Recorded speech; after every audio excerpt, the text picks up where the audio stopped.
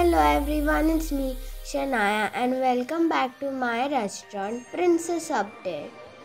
In this update we have a new princess customer, new theme, chair, tables and much more.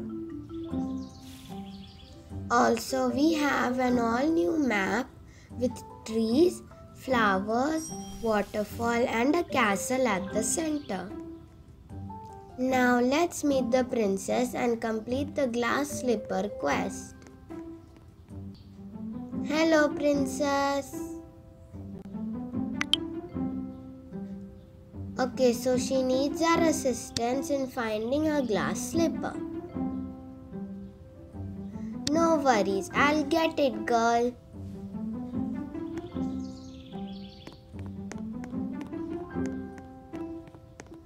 Okay friends, so we have tested this quest on 4 different accounts and the glass slipper location is different every time.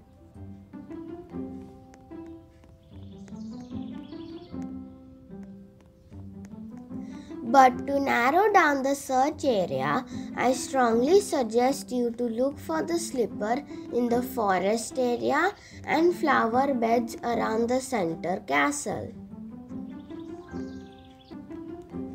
We have shown few of the possible locations in this video.